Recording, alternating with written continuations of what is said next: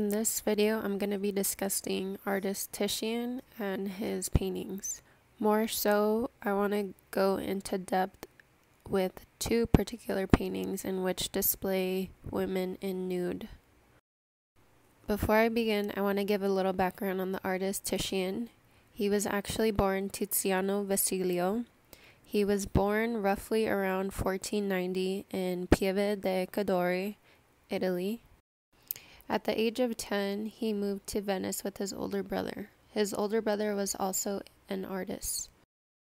Titian was able to apprentice under artists such as Zuccato. He later apprenticed to Gentile Bellini.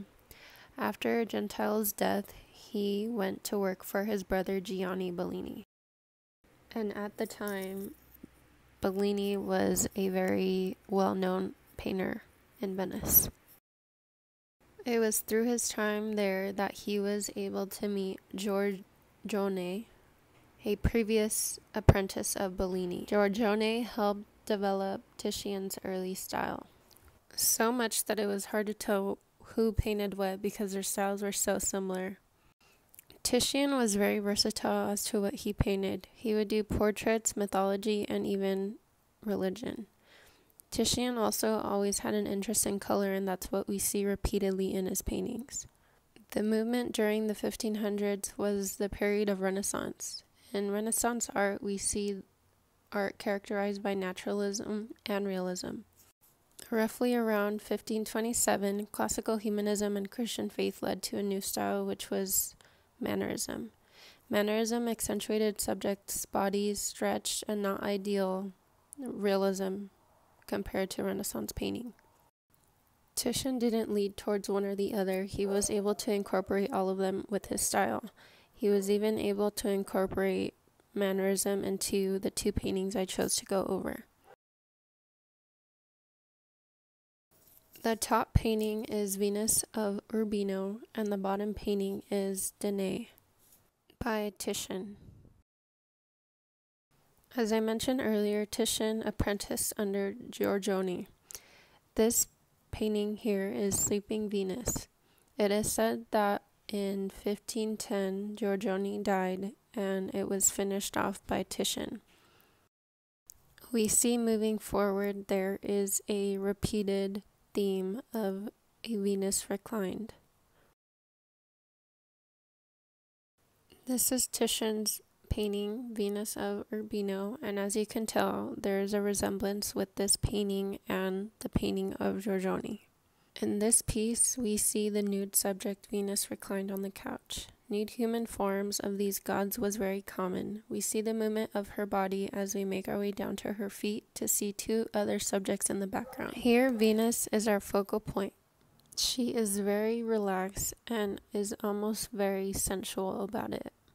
The gaze in her face also gives a sensation of desire. Titian uses chiaroscuro to highlight and contrast her soft, warm skin against the silk sheets. And towards the end of the sheets, we see a small dog. We also can tell that Venus's body, in proportion to the other subjects, is way bigger. In this painting, you also get a sense of domestication, given her location being inside as well as having a dog nearby. You can also tell because of the two maids in the background. So, although her body is free, we can we can assume that she may possibly get dressed later. Titian also included mannerism in this painting.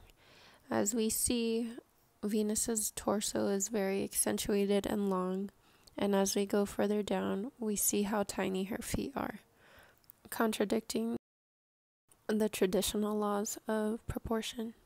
Moving forward, we have here Titian's Danae. Here in this piece, again, we have a nude woman reclining on a couch as well, wrapped around in silky sheets. We see her relaxed, gazing over what seems to be a cloud of gold we can see the beauty in the subject given her jewelry and her beautiful face.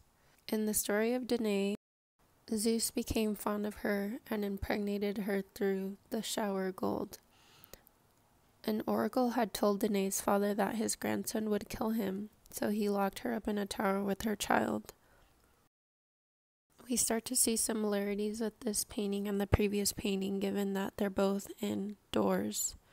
We see that they're surrounded by lavish things, and we can see the landscape in the background.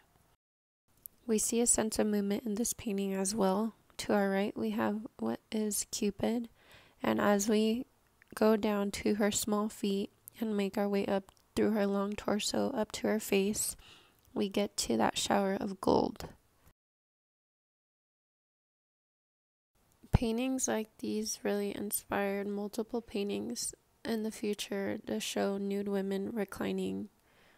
Looking at both pictures, we can tell that Titian depicted these women domesticated by keeping them indoors. We see that with both figures in the paintings, they are both gazing, wanting to be looked at or admired.